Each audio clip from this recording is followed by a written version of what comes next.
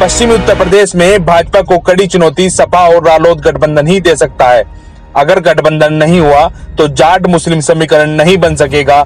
अलग अलग चुनाव लड़ने की स्थिति में वोटों का बिखराव हो जाएगा, जिसका फ़ायदा सीधे तौर पर भाजपा को मिलेगा। सपा और रालोद दोनों दलों की कोशिश है कि दलितों के साथ पिछड़ों और अति पिछड़ों को भी जोड़ा जाए।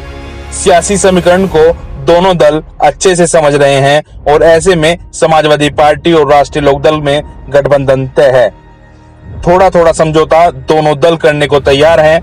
एन वक्त पर पश्चिमी यूपी के कई और छोटे दल भी साथ आ सकते हैं।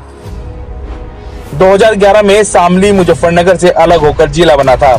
वर्तमान परिदृश्य में मुजफ्फरनगर ज़िले में छह और शामली ज़िले में तीन विधानसभा सीट हैं।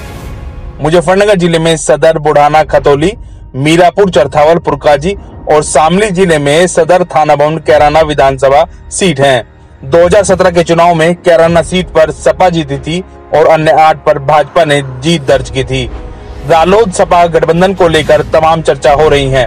कोई कह रहा है कि अभी पेच है तो कोई कह रहा है कि जल्द घोषणा हो जाएगी। हालाँकि गठबंधन तय है। सूत्रों से जानकारी मिल रही है कि दोनों जिलों की नौ सीट में से पाँच पर सपा और चार पर आरएलडी चुनाव लड़ेगी। कौन सी सीट किस दल पर आ सकती है, इस पर भी चर्चा करते हैं। सूत्रों के अनुसार, शामली, खतौली, मीरापुर, पुरकाजी सीट दालोद को मिल सकती है।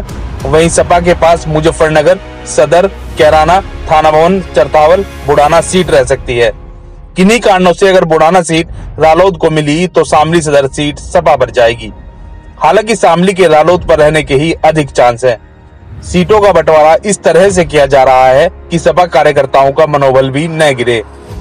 कुछ सीटों पर कैराना उपचुनाव फॉर्मूला भी अपनाया जा सकता है, यानी कि प्रत्याशी एक दल का और सिंबल दूसरे दल का। अब बात करते हैं कि गठबंधन से टिकट किसका होगा।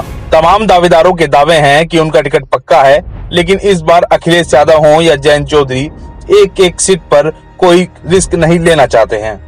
अखिलेश यादव जिलों के नेताओं से सियासी समीकरण के संबंध में लगातार बात कर रहे हैं, लेकिन वह फीडबैक सिर्फ़ ले रहे हैं और अपनी ओर से ज़्यादा कुछ नहीं कह रहे। यही स्थिति जयंत चौधरी की भी है। कांग्रेस से गठबंधन में रालोद को बहुत अधिक सीट चुनाव में मिल सकती हैं, लेकिन कांग्रेस के पास वोट बैंक नहीं है। ऐसे में गठबंधन का रालोद को कोई लाभ भी नहीं होगा। इसीलिए जयंत कांग्रेस से गठबंधन पर साफ़ इनकार कर रहे हैं। 2019 में सपा बसपा रालोद का गठबंधन था लेकिन परिणाम भाजपा के पक्ष में थे। अब 2019 से लेकर अब तक सियासी तस्वीर काफ़ी बदली है। किसान आंदोलन का लाभ भी सबसे अधिक जयंत चौधरी, यानी राष्ट्रीय लोकदल को है।